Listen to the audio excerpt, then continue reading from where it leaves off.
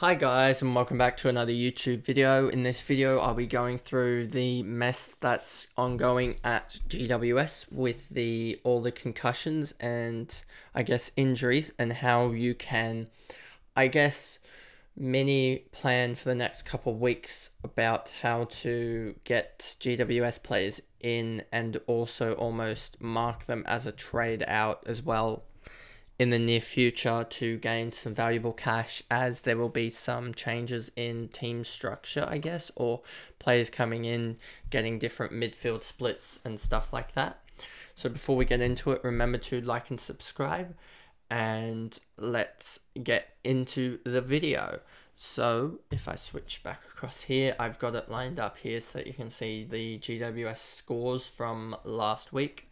So you have Toby Greene here, and I think he's one that might profit from coming the uh, Whitfield, Kelly, even Weir, I think, is going to get um, delayed concussion um, out for a round.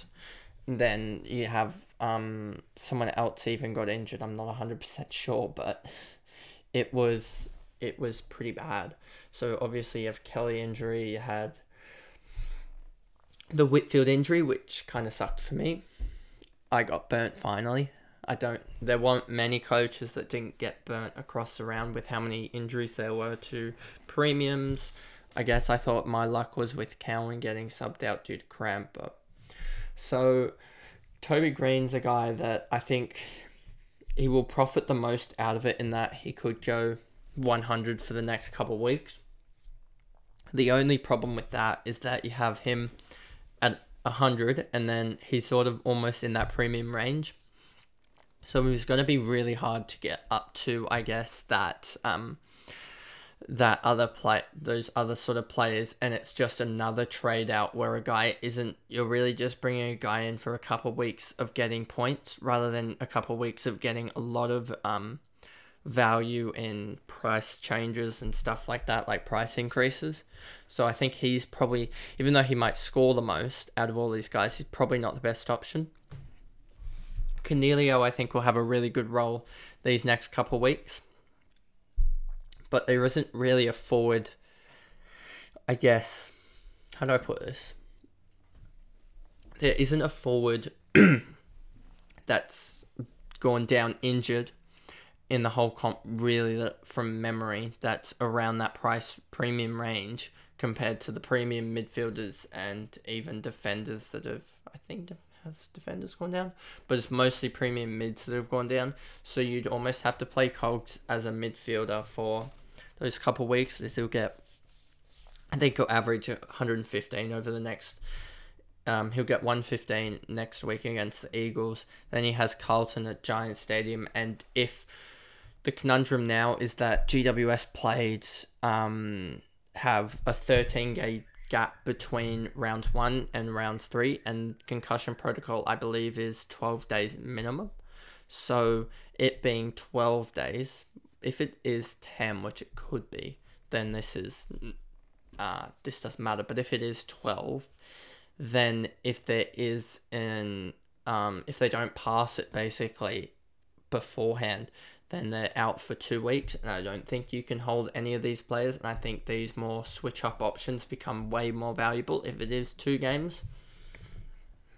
Ward, I just don't think he has enough um, output in him, even with the increase that he'll get. Josh Kelly got injured late, so and he's out for next week already confirmed, so you can't use him. Callaghan will be a really good option, I think. He might get more in midfield time, but I do think that also could go for Lachie Ash or Ash, and then that'll mean that I guess you don't get the value out of um.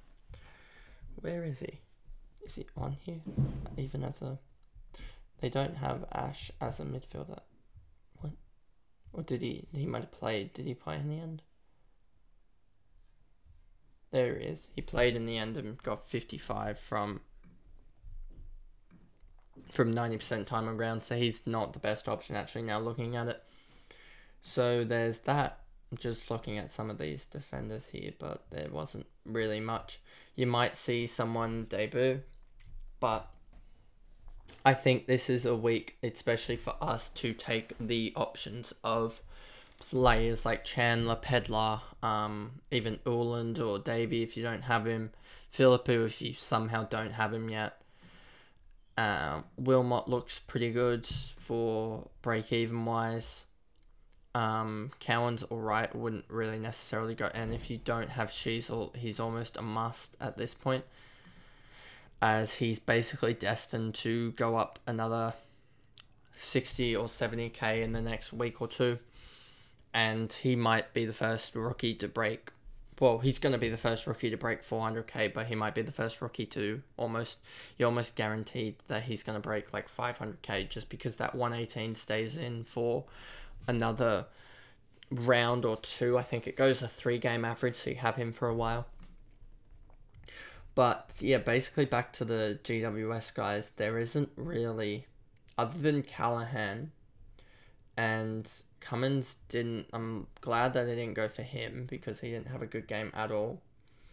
But um, there isn't really anyone that I'm necessarily looking at because Callaghan, you have Worpel that's sitting around that price tag, but I think Callaghan might be probably is a better option, given that he probably has more job security as he's a wingman and an on baller if injuries.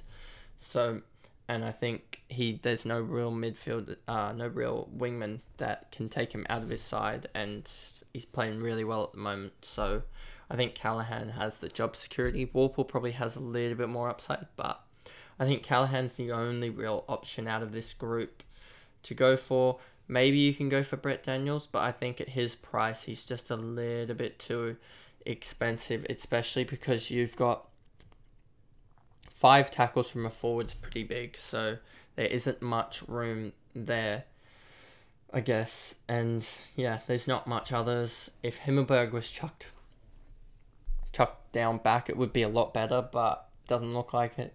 I think Weir's out with a concussion. May, might not be, but I think he will be.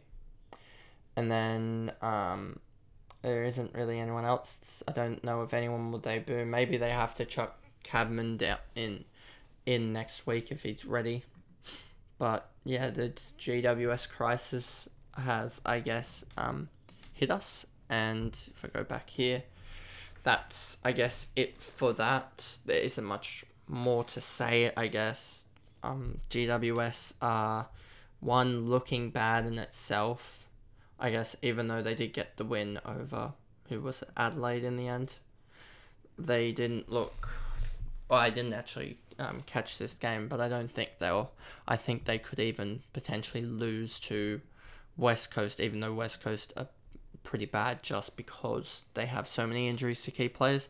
They'll get thumped by um, Carlton probably, but they have a pretty good schedule early up, so they might actually end. Now looking at it, they might they might um, start the season four and one or three and two, and then they have a hard patch where I don't see them winning a game for a month. So the GWS um, midfield there looking at it further, there isn't really an option to go to other than if you wanted to get Callaghan in for maybe Sheed if you didn't have any problems. But other than that, you don't really have any options. And that's the video, I guess. So I'll see you guys in another video.